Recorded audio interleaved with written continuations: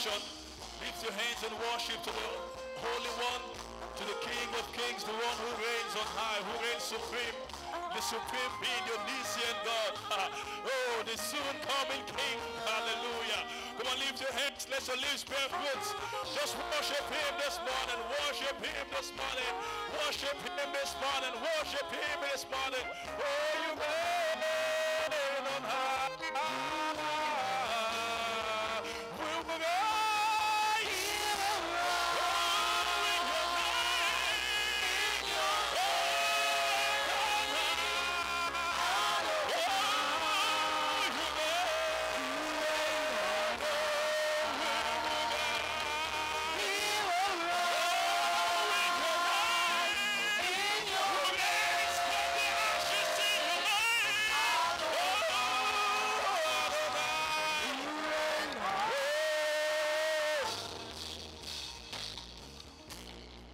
Shadabaha, Shadabaha, Shadabaha, Shadabaha, Shadabaha.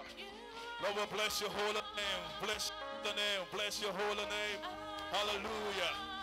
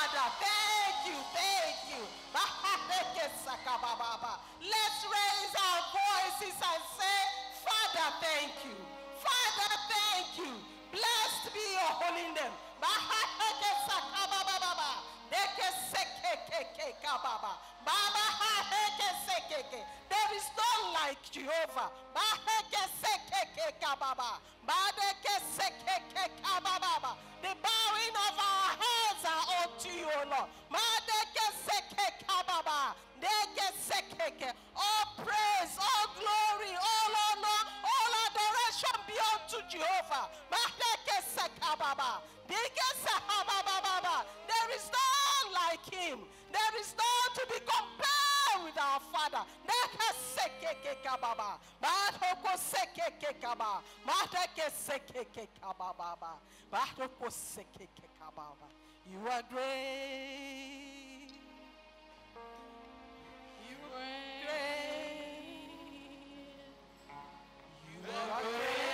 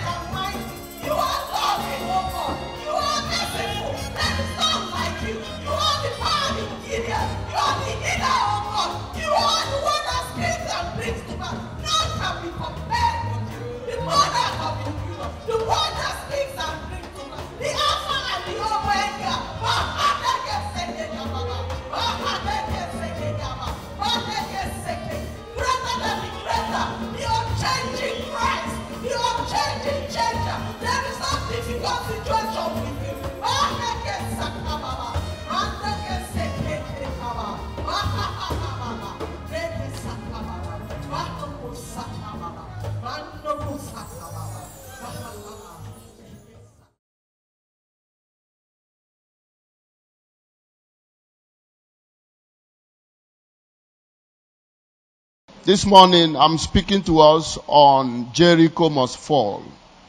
Secrets to overcoming your obstacles. Jericho must fall. Secrets to overcoming your obstacles. Let's take one more scripture. First Corinthians chapter 16 verse 9. That has become a popular scripture in this place. We, we have always used this scripture each time our prayer focus is on hindrances and obstacles. First Corinthians 16 verse 9, the Bible says, For a great door and effectual is open unto me, and there are many adversaries. There are many obstacles. Great doors are open, and suddenly there are obstacles. Not one, not two, but many. The story in Joshua chapter 6, God used that story to reveal to us the vulnerability of obstacles. Every obstacle is vulnerable. Every obstacle is weak. Initially, they might appear very overwhelming, very intimidating, but in that obstacle, as big as it might look, lies the greatest weakness you can imagine. And the glory of God is here today to expose the weaknesses of the obstacles, that obstacles you are going through. The glory of God is here to expose it. The glory of God is here to give somebody insight. All that you need to floor that obstacle is an insight, is an empowerment from God. And God is here in His power, in His glory, to accord you that leverage this morning. Praise the Lord. So every obstacle is weak. Another thing that that scripture reveals to us also is that no obstacle comes from God. God doesn't put obstacles in the way of his people. First of all, what is an obstacle? An obstacle is anything that stands in the way of your progress. Anything that brings a blockade on your path of progress. So obstacle can either stop you from getting to somewhere or delay you from arriving there. That's obstacle.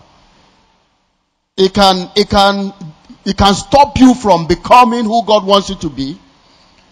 And when when when the obstacle perceives that you are that you are uh, uh, you are unrelenting, the obstacle may delay you in arrival. But here this morning, the power of God is going to stop them on their tracks. In any way, obstacle is manifested against you physical obstacle, human obstacle, demonic obstacles, emotional obstacles. The power of God is right here. And we punctuate their operations in your life today. I wish that somebody believes it and shout amen. The power of God stops their incursion in the name of Jesus. Every obstacle is weak and does not come from God. What God does is that when they emerge, God uses them to glorify Himself. God glorifies Himself through us in that obstacle. So what God does is to pass us through the process. Pass us through the process, and that's where most people often miss it. That's where we often give up. And God is releasing the strength to someone here today to stay true. Down to work. There's power in prompt obedience. One of the things that will help you in that obstacle is prompt obedience. Prompt obedience. Obey God when He speaks to you in your personal times. Obey God when you are in His presence, like today. Obey God, especially when you are clear within you that is God that's speaking. That's, that is God that's speaking to you expressly. Step out. One of the differences between uh, Abraham and Moses as servants of God is in the promptness of their obedience. Abraham was always prompt. Abraham, get up from your kindred and come with me.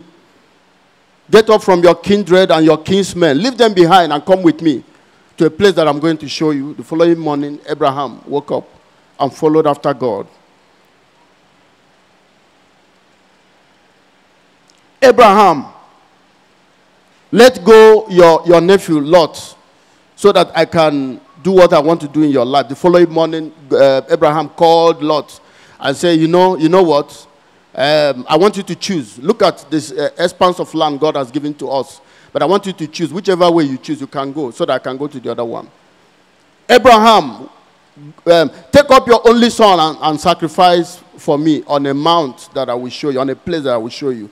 The following morning, he gathered, he, he, he picked his son, um, put together uh, all the sacrificial materials, all the sacrifice materials, and set on his way to accomplish the purpose of God. No wonder he was highly successful. In his time, he was the richest man on earth. Praise the Lord. Prompt obedience is what you need in this time. When you hear the word of God, harden not your heart. Hallelujah. Praise the Lord, somebody. Praise the Lord, somebody. Isaiah chapter 1, verse 19, the Bible says, The willing and the obedient shall eat the good of the land. Willingness plus obedience is what I term prompt obedience. When somebody is willing to do and ready to obey, it leads to quick action. It leads to quick action. When it comes to obeying God, let's not be a Moses. Moses will reason it out, will debate it out with God, and eventually obey. And sometimes he, he obeys after he has, uh, he has succeeded in having God add to the original plan.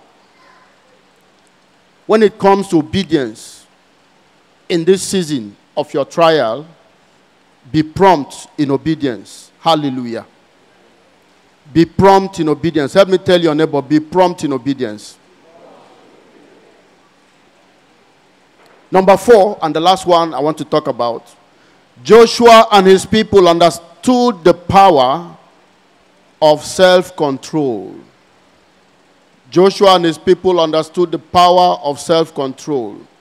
When facing obstacles, you have to be in control of your mouth. The things you say, you have to be in control of your mind, the way you feel, and the things you think. They are very, very important. Hallelujah. They are very, very important. So your duty is to align the things you say, the way you feel, and the things you think with your expectations. So, first of all, let me ask you what is your expectation in that situation? How do you want to come out of it? How do you want to emerge? It's all up to you. You can decide to define your expectation from the circumstances surrounding that obstacles. But I'm charging you today, let your expectation be according to God's promises for you. Has God promised you anything? Remind yourself about those things constantly. Hold on to them. Psalms 19, verse 14, the psalmist he prayed a prayer there. He said, Let the words of my mouth and the meditation of my heart be acceptable unto you, O Lord, my, uh, uh, my, my strength and redeemer. Hallelujah. In other words, let what I'm thinking and what I'm saying, let them agree with your purpose for me. That's what it means by saying, let them be acceptable unto God. Let it correspond with your initial plan for me, even before I enter this situation. As far as the children of Israel was concerned, their expectation was to get to the promised land. And one of the things that helped them while they were uh, encircling that, uh, that intimidating wall of Jericho round was that they had the end in mind. The, uh, uh, you know, it's easy to read some of these things and, just look at them as, as, as, as fictions. If you, put, can you, if you put yourself in the place of the children of Israel and you are cycling a wall, each time you come, you cycle for six days, one day, no, no comment. And you are told that just by cycling in the world will, will, crumble, and you are looking at that massive object. So each time they were surrounding that wall, God was disarming them of their, of their, of their selves, of their fears. And God was giving them a reason to believe Him. So your duty is align your words, your thoughts, your meditations with your expectations. Have your expectation in mind. Let it, let it be, yeah, let, let your end be in mind. You know, that was the same strategy Jesus applied. Hebrews chapter 12, verse 2. The Bible said there, he said there, looking unto Jesus, the author and finisher of your faith, who for the joy that was set before him, he endured the cross, despised the shame, and he has now obtained for himself a place in the, in, in the throne of God. At the throne of God. Praise the Lord. He says, looking unto Jesus, the author and finisher of our faith, who for the joy that was set before him, the joy was set before him. So, in other words, the joy of a glorious ending was in front of him. And he was coming from a process that was still painful, a process that was still um, filled with trials. The Bible says he endured the shame he, he despised shame, endured the pains because there was joy set ahead of him. The, the, the, the hope of a glorious finish. So, in that circumstances, as you continue to wade through that circumstances, put your expectation in perspective. Bring it, put it, let it become your vision. Let it become the big picture you see. Every now and then, remember how it's going to end. You know, the Bible says, Ecclesiastes chapter 7, verse 8, it says, The end of a thing is better than the beginning thereof. So remember that and always declare that it's going to end in glory. It's going to end in glory. And I declare today to someone here, I say it will end in glory for you. It does not matter the process, it does not matter how painful, does not matter how people have looked down on you in that situation, it's going to end in glory. If you believe it, shout a believing amen. So walk with the end in mind and hold on to it. Unite your word, your thoughts, and your meditation with the end. Unite them with your expectation. Hallelujah. So, in conclusion, this morning, we have said that no obstacle lasts forever. Every obstacle is vulnerable, every obstacle is meant to expire. And the one you are facing today expires even now in the name of Jesus. You are not walking out of this auditorium with it. I declare it as a word of God coming to you. I declare. I said you won't walk out of this place with it. If you believe it, believe with me and say amen.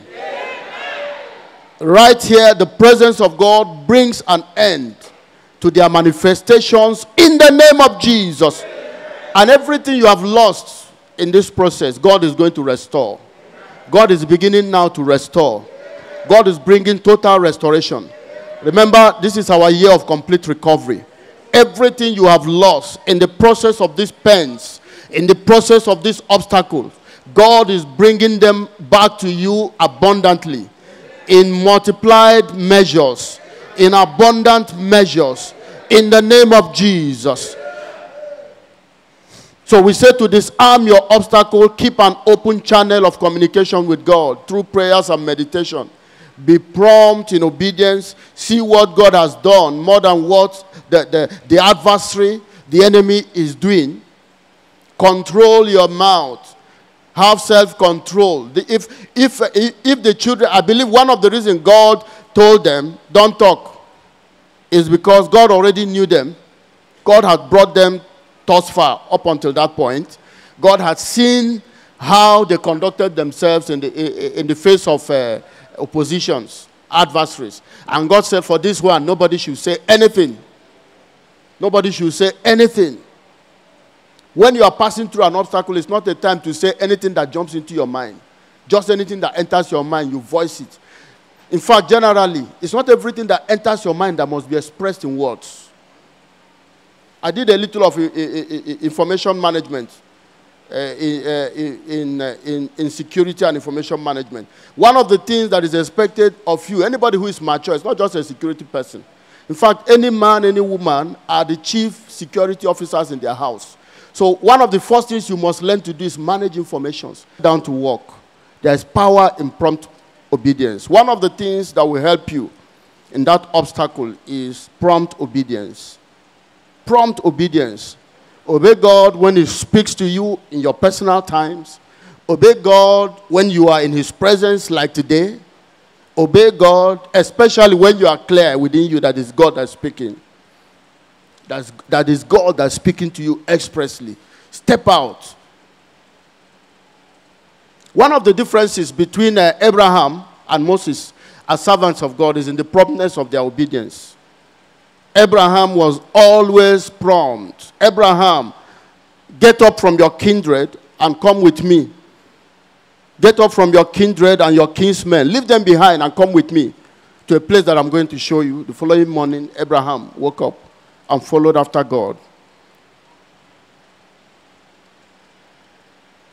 Abraham, let go your, your nephew Lot so that I can do what I want to do in your life. The following morning, uh, Abraham called Lot and said, You know, you know what? Um, I want you to choose. Look at this uh, expanse of land God has given to us. But I want you to choose. Whichever way you choose, you can go so that I can go to the other one. Abraham um, take up your only son and, and, sacrifice for me on a mount that I will show you, on a place that I will show you. The following morning, he gathered, he, he, he picked his son, um, put together uh, all the sacrificial materials, all the sacrifice materials, and set on his way to accomplish the purpose of God. No wonder he was highly successful. In his time, he was the richest man on earth. Praise the Lord prompt obedience is what you need in this time. When you hear the word of God, harden not your heart. Hallelujah. Praise the Lord, somebody. Praise the Lord, somebody. Isaiah chapter 1, verse 19, the Bible says, The willing and the obedient shall eat the good of the land.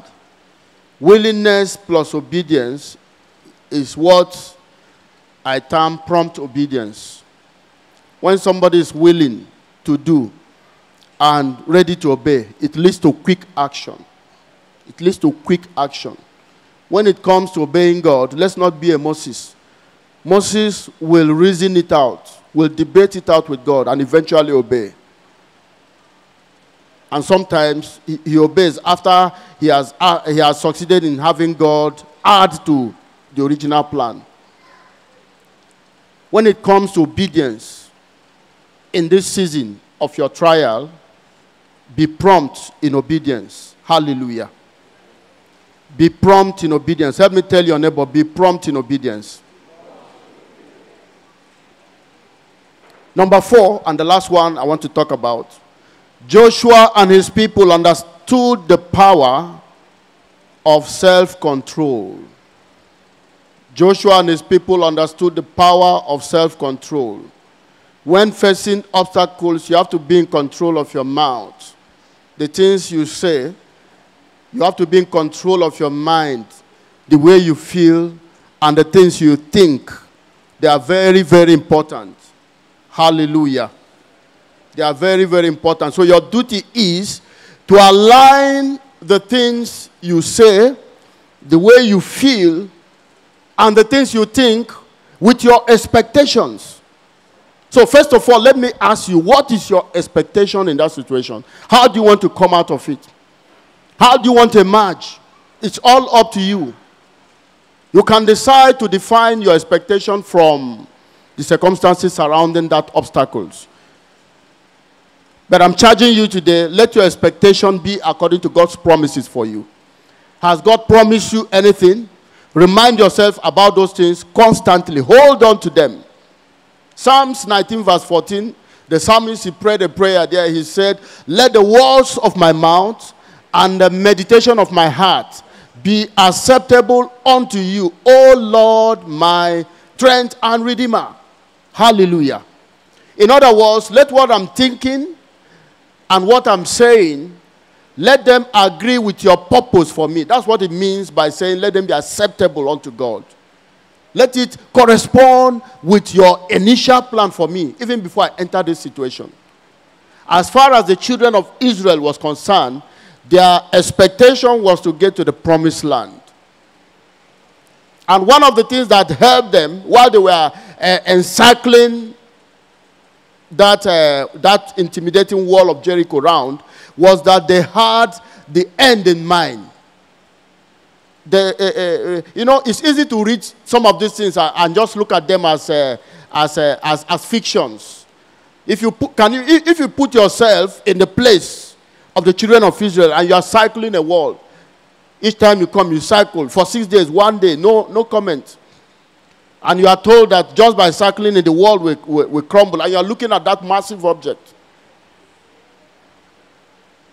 So each time they were surrounding that wall, God was disarming them of their, of their, of their selves, of their fears. And God was giving them a reason to believe Him. So your duty is align your words, your thoughts, your meditations with your expectations. Have your expectation in mind. Let it, let it be, yeah, let, let your end be in mind. You know, that was the same strategy Jesus applied. Hebrews chapter 12, verse 2. The Bible said there, he said there, looking unto Jesus, the author and finisher of your faith, who for the joy that was set before him, he endured the cross, despised the shame, and he has now obtained for himself a place in the, in, in the throne of God. At the throne of God. Praise the Lord. He says, looking unto Jesus, the author and finisher of our faith, who for the joy that was set before him, the joy was set before him. So, in other words, the joy of a glorious ending was in front of him. And he was coming from a process that was still painful, a process that was still um, filled with trials. The Bible says he endured the shame. He, he despised shame, endured the pains because there was joy set ahead of him. The, the, the, the hope of a glorious finish. So, in that circumstances, as you continue to wait through that circumstances, put your expectation in perspective. Bring it Put it, let it become your vision. Let it become the big picture you see. Every now and then, remember how it's going to end. You know, the Bible says, Ecclesiastes chapter 7, verse 8, it says, The end of a thing is better than the beginning thereof. So remember that and always declare that it's going to end in glory. It's going to end in glory. And I declare today to someone here, I say it will end in glory for you. It does not matter the process, it does not matter how painful, It does not matter how people have looked down on you in that situation, it's going to end in glory. If you believe it, shout a believing amen. So walk with the end in mind and hold on to it. Unite your word, your thoughts, and your meditation with the end. Unite them with your expectation. Hallelujah. So, in conclusion, this morning, we have said that no obstacle lasts forever. Every obstacle is vulnerable, every obstacle is meant to expire. And the one you are facing today expires even now in the name of Jesus. You are not walking out of this auditorium with it. I declare it as a word of God coming to you. I declare, I said, you won't walk out of this place with it. If you believe it, believe with me and say amen. amen. Right here, the presence of God brings an end to their manifestations in the name of Jesus. Amen. And everything you have lost in this process, God is going to restore. God is beginning now to restore. God is bringing total restoration. Remember, this is our year of complete recovery. Everything you have lost in the process of these pains, in the process of these obstacles, God is bringing them back to you abundantly in multiplied measures, in abundant measures, in the name of Jesus. So we say to disarm your obstacle, keep an open channel of communication with God through prayers and meditation be prompt in obedience, see what God has done more than what the, the, the adversary, the enemy is doing. Control your mouth. Have self control. If, if, if the children, I believe one of the reasons God told them, don't talk, is because God already knew them.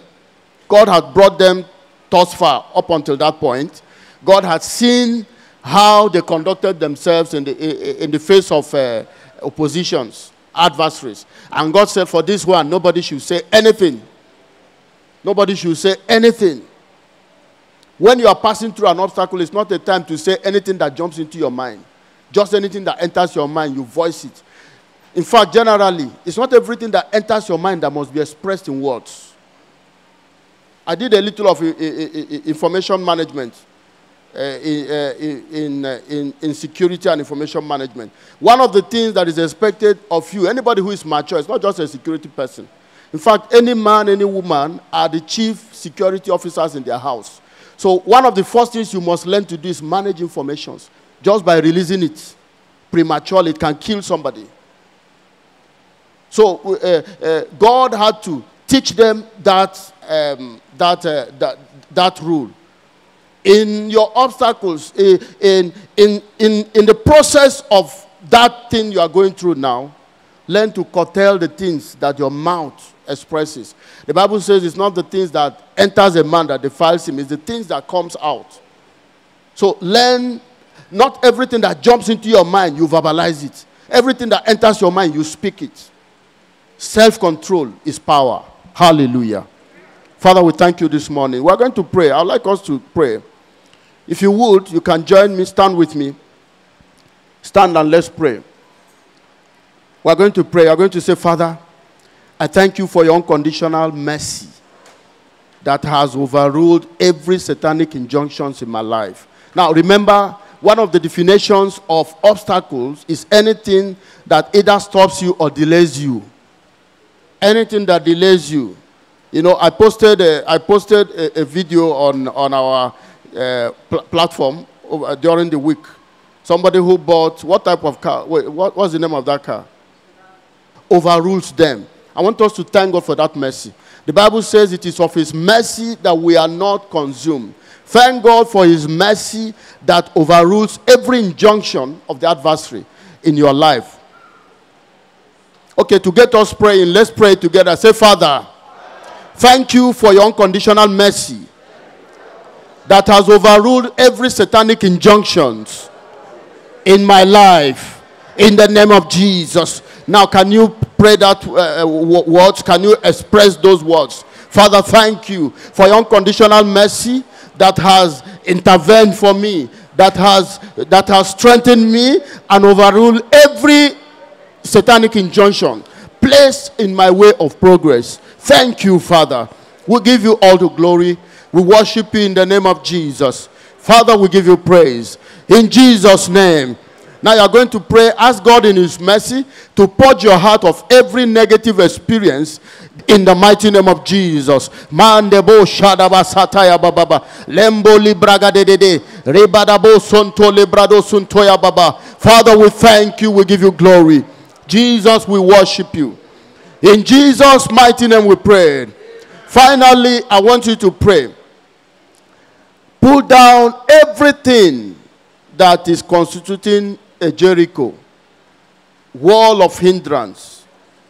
Are they manifesting as human beings? Let God disarm them and dislodge them. In the name of Jesus. Are they in spirit realms you can't know, but you know something is something is opposing you? Every opposition. Let's pull them down in the name of Jesus. Let's pull them. You can't pull, you can't pull anything down by keeping quiet. You have to speak. You have to speak. On the last day, they had to open their mouth and spoke to the wall of Jericho and it fell. Address those walls. Address those walls of Jericho. Address those opposition. To some of you, it might be finances. To some of you, it, may, it might be it might be it might be weakness in the body declare and command those opposition those jericho fall in jesus name declare and say jericho fall in the name of jesus. Jericho fall in jesus name. You jericho standing before me fall in the name of jesus. You jericho manifesting against me fall in the name of jesus. Kevin in jesus name. Kevin in the name of jesus. Kevin in the name of jesus. Mande baba lebrododo zintaya mande libradede. Zande debo sharabasantaya baba. Redede debo jadabo sonto librade. Father we thank you. Jesus we give you glory. Malalabo shata libradede randebo zande libradede. Father we thank you. Father we give you glory. Jesus we worship you. Have your way mighty god. Be thou exalted, mighty Father. Be thou exalted, King of kings. We give you all the glory. In Jesus' mighty name we pray. Thank you. Jericho must fall. And one thing he said at the end, he said, it will end in glory. And it shall be so. In that situation, it shall end in glory in Jesus' name. So let's welcome those joining us for the first time. It's offering time.